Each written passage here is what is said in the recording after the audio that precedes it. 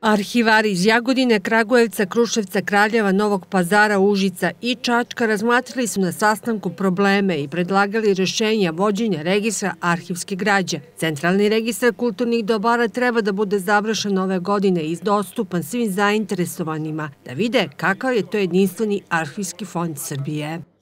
Ministarstvo kulture ubrzava taj proces. Mi smo sada zbog nekih problema koje treba rešiti u hodu u uvođenju centralni registar, odnosno zbog kategorizacije arhivske građe od izuzetnog i velikog značaja, postavili neka pitanja koja bi trebalo da rešavamo sa Arhivom Srbije. Ono što je već 79. i 97. označeno, na primjer, kao kulturno dobro od izuzetnog značaja, u nekim kasnijim izmenama e, smanjena je ta valorizacija, odnosno e, vrednost, čime su oni postale kulturno dobro od velikog značaja.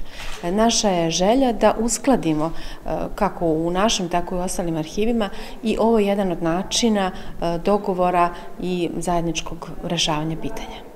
Razgovarano je i o obeležavanju dokumenta u arhivskim fondovima kako bi bili dostupni istraživačima.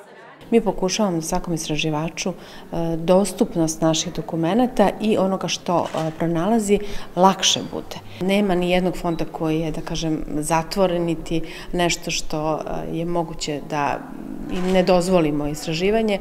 E, najčešće istraživači e, posećuju, odnosno dolaze kod nas da bi istraživali svoje rodoslovno stablo ili pisali ovaj, knjige, bez obzira da li je to hronike mesta ili da li su to njihova lična neka e, interesovanja ili diplomski rad.